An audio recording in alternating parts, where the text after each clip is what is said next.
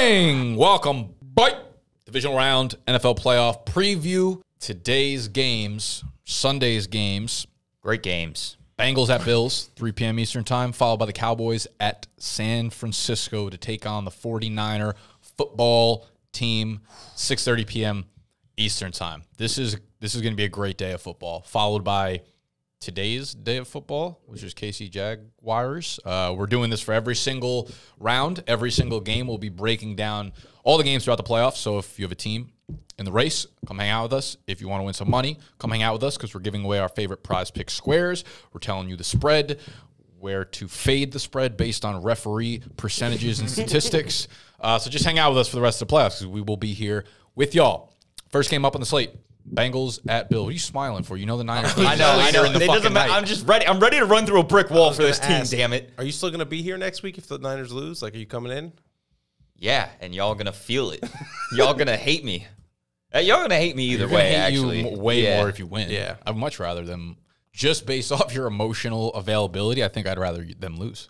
No, Actually, No, no, right. I lied. That's not. That's not a You good don't- thing. you don't want- we don't yeah. want number one. We got Ike, a Giants fan in here. If the Cowboys advance, that's not good. We don't want to listen to that, and then we just don't want to listen to that either. So Oh, way rather. I mean, if we're looking at it from like a Cowboys advancing, I would much. I, I like that angle from an Ike point of view. I think this is a lose lose lose lose situation. I don't know how many st- situations there are, but they're all the only losers. winners here are the Cowboys. Yeah, All right, let's get into the first game, Bengals at Bills. I love it. Um, injury report. Look, it's not looking great for the uh, Bengals offensive line right now. Alex Cappa most likely uh, going to be out, questionable though, and Jonah Williams unlikely to play. La'el Collins out. Like this whole line is um, is very hurt right now, and it's a really bad time for your offensive line to be hurt heading into. Uh, the playoff divisional matchup, Bills versus Bengals. Spread is minus five and a half in favor of the Bills, and the over/under is at forty-eight and a half. Looks like there's going to be a little snow. It's going to be a little cold out there in Buffalo. Obviously, this is the week uh, 17 matchup that we did not get to uh, get to see. But I think, like you said, the O line is going to be the big subject of discussion. Like everything I've listened to about this game has just come down to the offensive line. So it begs the question: like, do you think the Bengals are good enough? Do you think they're scrappy enough? Do you think Joey Shiesty is into that next level? Did he take the step up to the elite level of QB play where he elevates the team past the uh, offensive line conundrum they find themselves in? yeah, I definitely think so. Uh, quick question: If there were no injuries to this Bengals O line, Bengals. Yeah, not even Ba- close. Bengals are the better team, right? Yeah. I this would, would- be like a pick at pick least a with pick'em, the Bills yeah. at home. Well, yeah. So, uh, like you said, um, I believe so. Bills were two and a half point road favorites in the Week 17 game that obviously got canceled, uh, and that over under was set at 50 and a half. But that was a road favorite. The Bills were still picked to be the favorite on the road. They were minus two and a half favorites. So now the Bills are at home and they're minus five and a half favorites. But I would imagine if that offensive line was fully healthy, it'd probably be Yeah, it wasn't to even, it wasn't fully healthy at the time either. So I think that probably played into the spread. And I think that's why I think it opened at three and a half probably, and then moved to five and a half because all the sentiment around this game had been around the offensive line for the Bengals. I think another storyline here is the offensive line for the Bills is not very good either. No. like I- neither teams are great. Yeah, I was gonna say like I think the narrative of this injured O line is is getting a little bit overplayed. I'm not trying to take away from the importance of it, but five and a half just seems like too many points to be laying uh, with. I don't I don't think the with the inferior team. Like I, I just don't think the Bills at this point in the season are better than the Bengals. Yeah, I mean we talk about like I just hear a lot about like oh Joe Burrow he's gonna get sacked eight times again and he's gonna be under so much pressure, but it's like this is kind of the old line that Joe Burrow was playing with last year, and he was able to advance against the Titans, getting sacked eight times. And I know the Titans aren't the same animal that the Bills are, but like Josh Allen was sacked seven times last week against Miami. So, you know, it, it I, I think the that narrative can also be flipped on the other side, where it, I'm I'm worried about Josh Allen getting sacked a, a bunch too. I think people agree with you because 63% of the bets are on the Bengals to cover. So it looks like you're you're not alone. I mean, you got more than half of uh, the bets are being placed on the Bengals to cover. Joe Burrow also. Uh, he prefers the road games to the home games when it comes to covering the spread here. Uh, road, he's 18 and 7 on the road against the spread. They keep So- doubting him. I, I like like young teams that have energy like the Bengals do because I don't know. I feel like they always they're ready to go in comeback mode. Like they don't put their head down and like I fuck we're out of it. They like keep fighting throughout the fourth four quarters of the game, and I feel like that's what we'll get from Cincinnati. I think you know the respect has to be paid to Buffalo too. They are riding an eight game win streak right now. Like I haven't really heard that talked about at all. Like they haven't lost in a very long time. They're they might not be putting together like incredibly you know impressive performances, but an eight game win streak at any point in the NFL, including a playoff game, is pretty fucking impressive. Yeah, uh, that's true. I just think that um, I don't know. I think the Bills are relying too much on on Josh Allen. I, I think ever since Thanksgiving, they've been starting to run a lot more empty sets, and it feels like it feels like the Bills are starting to realize that they don't have shit behind Stefon Diggs, and that they Feels just like he need- only trusts Diggs and Knox right now. yeah, and even even Knox, I'm not too sure of, anyways. But like, if we look at like who's going to be better in this scenario, are the are the Bengals going to be more successful replicating what Miami did against the Bills, or are the Bills going to be more successful replicating what the Ravens did against the Bengals? Because both of these teams struggled against inferior teams in the like as divisional rival games. So I think Interesting. That's a good point because the Bills can't replicate a Ravens defense. You can't fake a defense. No, you can't. I mean, the Ravens rely a lot on their personnel with their corners that can tackle, their linebackers that are super fast. And I, I think the Bengals defense can create the same chaos that Miami did against against the Bills. They blitzed a lot. Uh, Bengals blitz at a pretty healthy amount, but they also play cover eight a lot. They they drop back a lot of people in the coverage, and I think they're just going to let Josh Allen run around the line of scrimmage and be like, go ahead and heave it deep. You know, you might get you might be successful sometimes, but you're also going to create turnovers. And you know, I think the Bengals trust their offense to keep things moving to where they're going to let Josh Allen shoot himself in the foot. Yeah, he's got an interception in three of his last four games, so he's been throwing plenty of picks. I mean, the Bengals defense is primed to get one here. I guess my question is like, Bengals defense has been good. Do they have enough in the pass rush category to like take advantage of the Bills' offensive line? That's like the one question because if they can get a lot of pressure on Josh Allen, like their their offensive line is not great, but I feel like since he since he's like strong all around, they don't have a lot of Yeah. deficiencies. But I don't know. I feel like they will need. um they're going to need a really strong pass rush this game to just continue to get pressure into Josh Allen. That's when you force the mistakes when you get in his face because he only really trusts Diggs at this point. He's going to look one way, you know, put cover two. They're obviously without a, Awuzie at cornerback, he's been out for a minute. Uh, Eli Apple's a little bit banged up. He should be fine. But he's their one right now, and he's I mean he's not a great cornerback by any fucking stretch of the. He's played well this year, kind of, but like Serviceable. yeah, not a great cornerback, and that's a little scary in the secondary. Um, but it sounds like you got the Bengals taking this one. Yeah, I, I, I think the Bengals just match up really well. Um, I, I don't know what the Bills are going to do on defense to stop Joe Burrow because ever since Von Miller's been hurt, they don't get a whole bunch of pressure and they don't blitz a lot. And so it's kind of like no matter what the Bills want to do on defense, the Bengals have an answer for that. Where it's like if you if you do want to play, you know, one high safety and start blitzing Joe Burrow, Joe Burrow's been successful under pressure against the blitz. We've seen the Bengals offense shift from trying to be super explosive in the beginning of the year to like just kind of condensing its offense to be more efficient and just attack the middle in these short plays. So it's like like if you drop back, he can he can kind of dice you up there too. Like I, I just don't know what the Bills do on defense. Meanwhile, I feel like Josh Allen is kind of bound to make some mistakes on offense because the Bengals are going to let him go 200 miles an hour and just hope that he crashes, which he's kind of been He's doing. been doing it a Yeah. lot. I mean, he's been very sloppy for the uh, probably say his last like ever since the shoulder, the uh, elbow injury or whatever. He's just been sloppy. yeah, I would, I would also like to point out that I said the Bills are on an eight game win streak.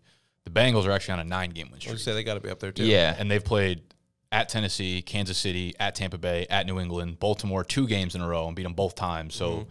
and I, a th- I pretty think that- fucking serious. I know that that was like a Tyler Huntley, probably an Anthony Brown game, but like those Raven, that Raven teams matched up so well with the Bengals Mm-hmm. to where I, I do think like beating a Tyler Huntley team means a lot more than beating Skylar Thompson. yeah, sure. I yeah, was yeah. just- I was no, no, just no. saying, I, I, like, like yes. looking at these game logs, like the, how Joe Burrow put up 480 yards against the Falcons. yeah, it's tough. I think that was that was the day we went to Hoboken.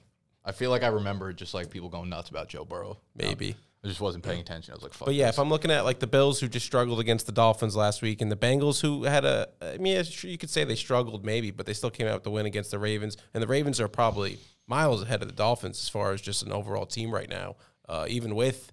Uh, Tyler Huntley out there at quarterback. Uh, I just think the, the way the Bengals are playing, like if you want to get into the game predictions here, I Are know you I just, are you switching? I was just gonna say, I know. I, I'm kind of debating now too. now I'm, I'm we're talking so about. I'm so in on the Bengals. I think they're just getting doubted too hard. I think too much is being read with this O line. Like I do worry about that. I, I worry about it too, but I just feel like the No, I Bengals mean like that people are like way too. Oh, oh. It's like the only narrative. Right. Oh wait. It's not.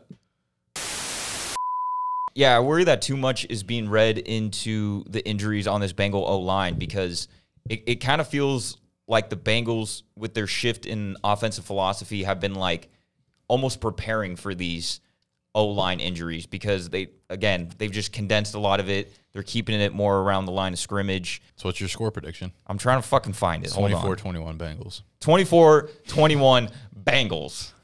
All right. You got a familiar. You got a similar. Yeah, one. I have the same score, but I have 24-21 Bills. Uh, I just think the Bills are kind of they're on like a revenge tour. You know, the Bengals just went. They're good. Give give give them a year off. Bengals, uh, you know, Give them a give 'em year a year off. got to rest rest up for next year. Bills, it's their year. Also, uh, You're, you're going to lay five and a half with the Bills. I didn't say. Oh well, game prediction. I mean, if we're talking about You said same score 24 21. yeah, 24-21 Bills. So you would take So the you would Bengals. take the I Bengals. would take the Bengals on the spread. Yeah, but I mean, best bet. My best bet of this whole this whole game is the under. I love the under. I I, I got the the referee stat here. Carl Cheffers has refed 11 playoff games since 2010. The under in his games that he's refed 10 and one. You want a better stat No, for the spread? Joe Burrow and the Bengals have not lost by more than three with Ja'Marr Chase in the lineup that's a good in stat. 20 straight games. That's a good stat. They haven't lost by more than three. Right. With with Ja'Marr Chase in. Well, that's why I have the Bills winning 25 22. Three point game, not more than three.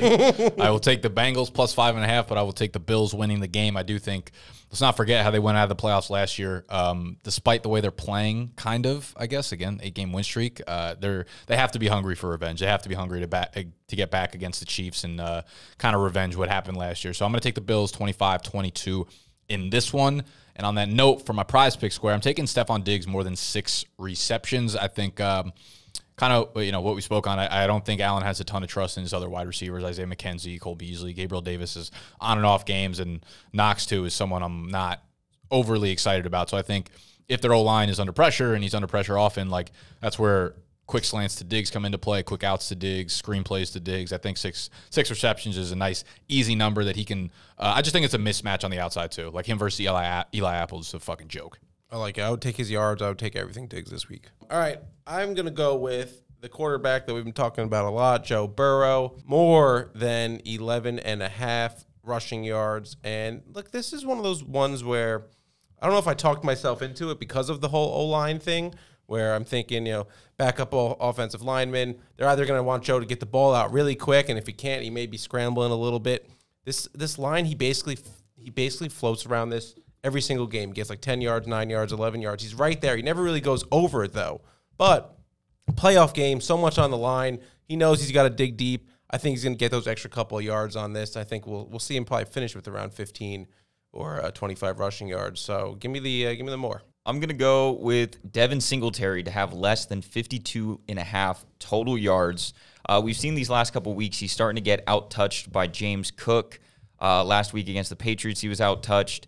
Uh, and in week 18, he was also out touched by him. It, this first matchup, Bills and Bengals, Devin Singletary got the start, but James Cook came in shortly after, started to get more work, and then obviously that game was canceled early. But I, I think we're going to see more of a shift to James Cook.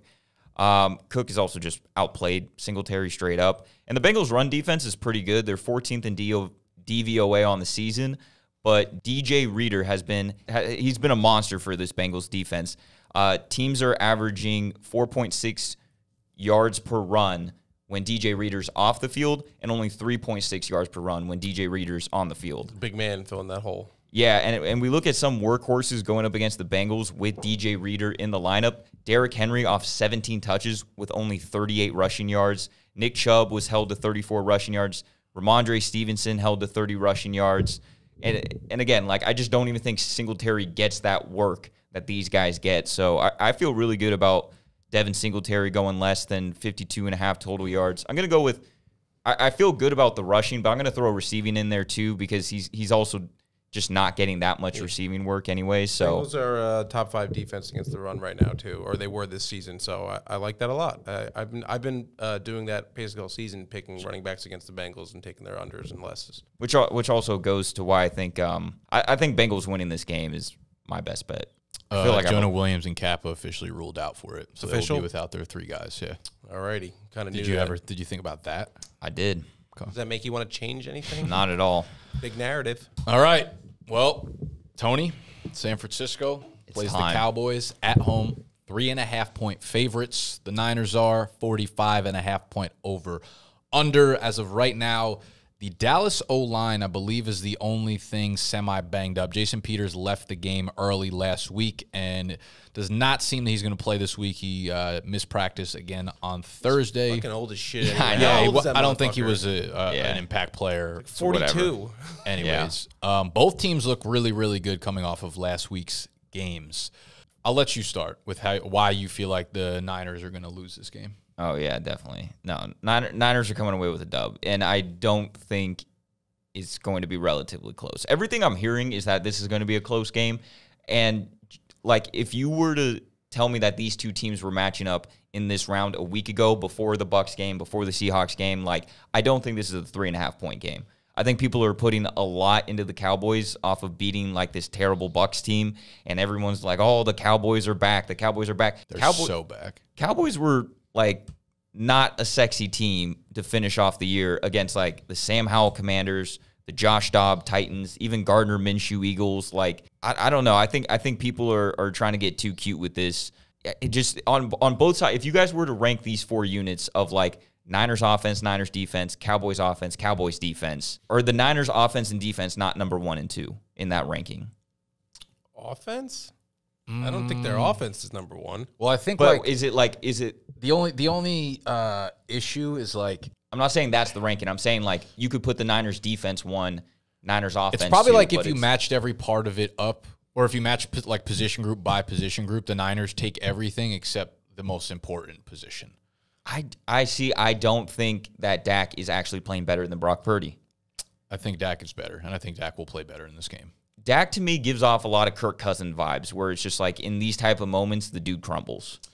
That's fair. He's had a few of those. Um, I, I don't know. I just feel like uh, I haven't really been a big buyer of Dak, but I feel like the more I watch him play, the more I've watched him play this season, the more kind of in, in I in on him I am.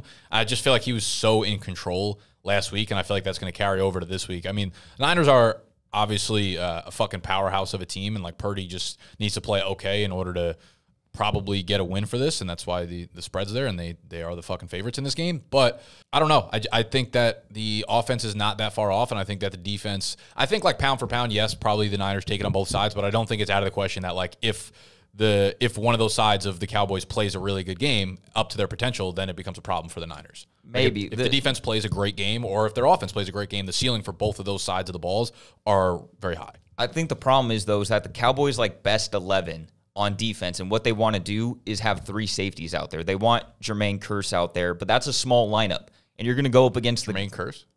Did I say Jermaine Kearse? You did. I didn't mean. Oh, fuck. What's his? fir- Not. I was only Kearse. asking because I was like, that could be. No, no, no, no. I knew he was a it's, receiver it's not back um, in the day, but fuck, dude, I don't remember the dude's first name. His last name is Kearse, but he plays uh, like that slot corner position. And um, J. Ron. J- you know why I thought of Jermaine Kearse? Because I was going to use him in trivia. Anyways, yeah, fuck, I just blew that cover. Hey. Write that down real quick.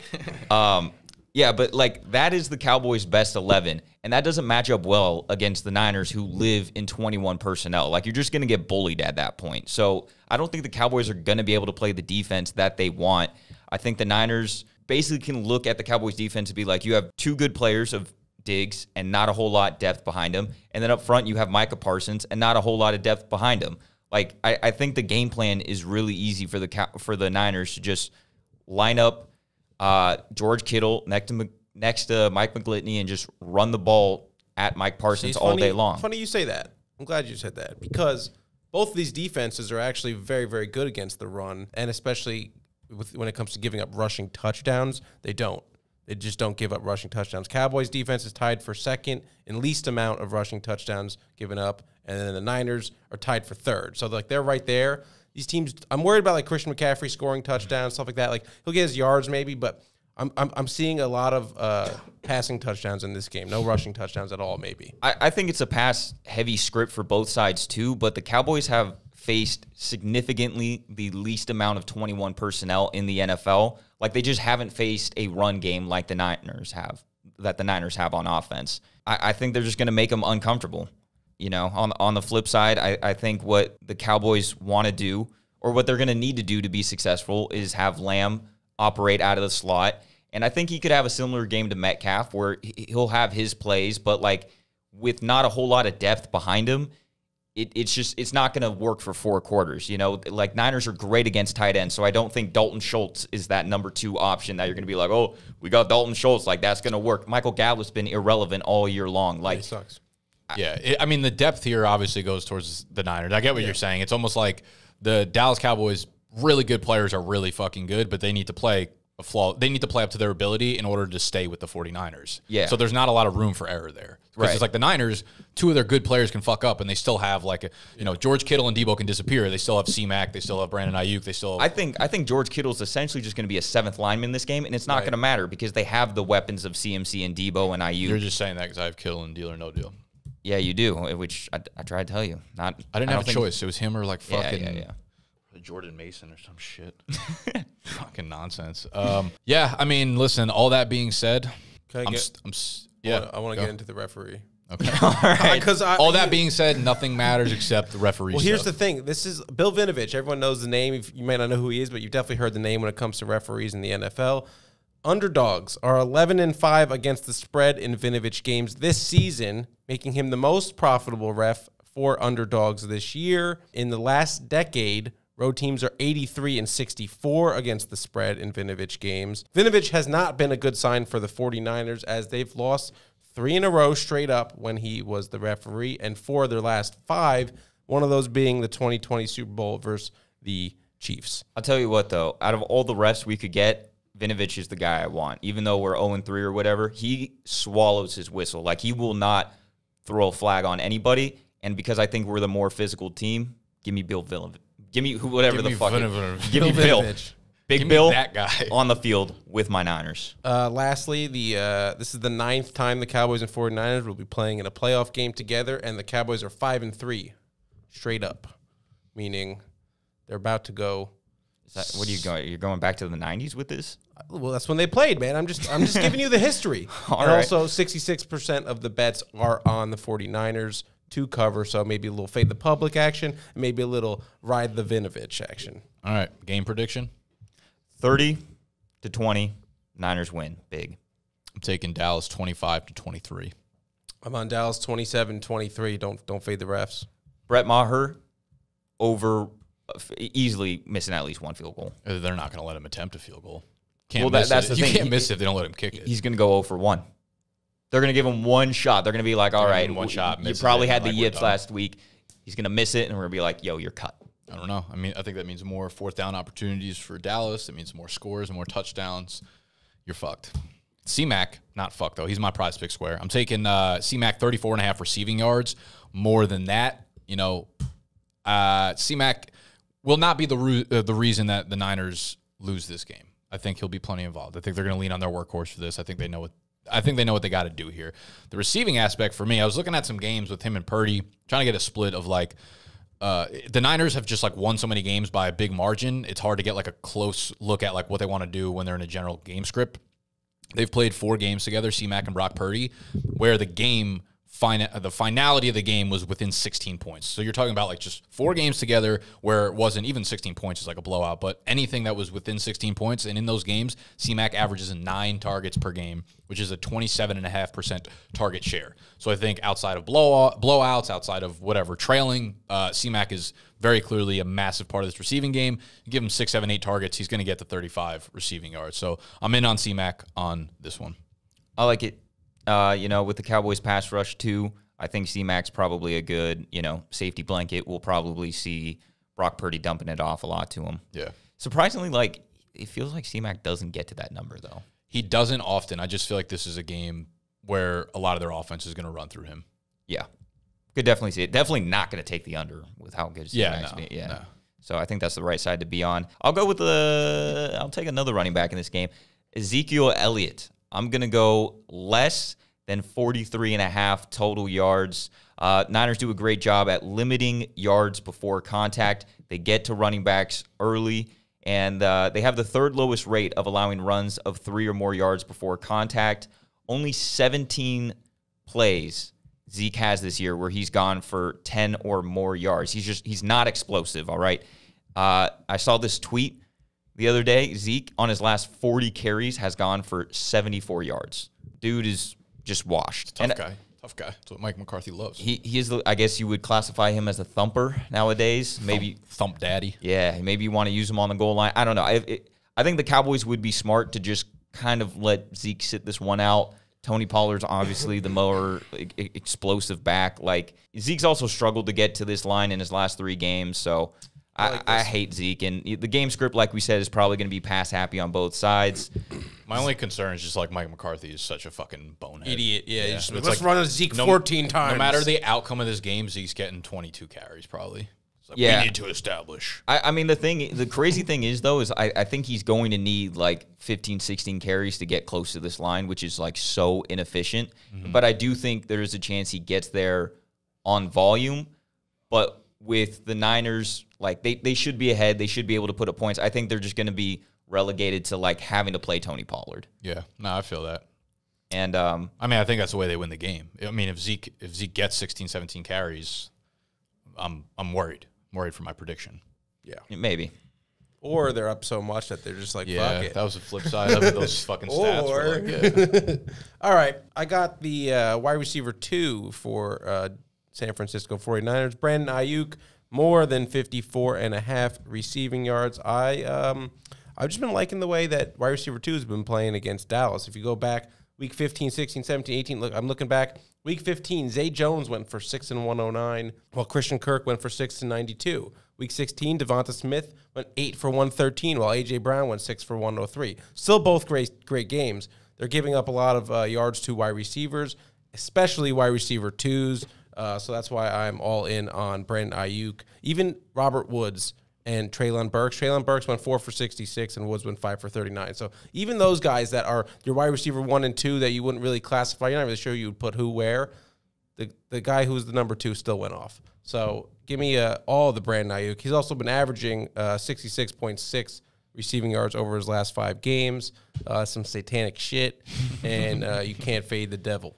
Uh, So- I, yeah, I mean, I, I definitely like that narrative. We we mentioned the lack of depth that the Cowboys have behind Trevon Diggs, and I think that's basically the reason why wide receiver twos go off. I just in this matchup, I'm not sure if you would really say Brandon Aiyuk is the two, just uh, because of the difference that Deebo and Aiyuk usage. play. Right. Yeah. Like it, it almost feels like you you would want to put Diggs on Aiyuk because Aiyuk runs those deeper routes. Like it, it, feels like it wouldn't make sense. ain't gonna do that. Maybe. I mean, I guess that's more of a Quinn. What's what's Quinn's first name again? Dan. Dan Quinn. I was thinking Robert Don't Quinn. like to talk about him. Yeah. yeah, that's more of a Dan Quinn thing. But I, yeah, I don't know. It just feels like it would be a waste to put uh, Diggs on Deebo because Deebo's probably going to play a lot more around the line of scrimmage. I, I I think it's probably a Deebo game over an Aiyuk game, but We'll find out. we will.